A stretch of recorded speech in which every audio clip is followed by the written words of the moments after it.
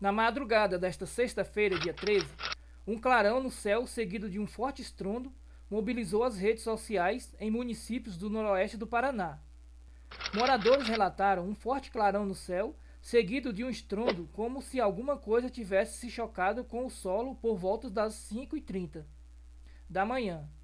Até mesmo o Sistema Meteorológico do Paraná, o CEMEPAR, acabou se manifestando depois que leitores comentaram o fato nas redes sociais.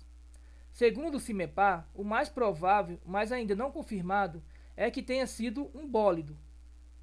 Alguns moradores chegaram a relatar que, por volta das 5h30 da manhã desta sexta-feira 13, o céu ficou totalmente iluminado e, após alguns minutos, houve uma forte explosão que foi ouvida por moradores de diversas cidades da região.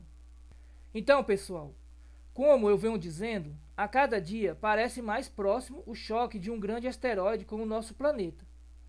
Nos vídeos que eu postei anteriormente aqui no canal, que fala sobre este grande dia, no qual nos foi avisado pelo senhor Amaury Rivera, e que até mesmo os milionários já sabem, e estão se preparando para se protegerem desta catástrofe que se aproxima. O alerta está dado. Quem puder, saia do litoral e fiquem de olhos no céu, para que não sejam pegos de surpresa. Os vídeos sobre este assunto vai estar disponível no final deste vídeo. Quem não viu, vejam.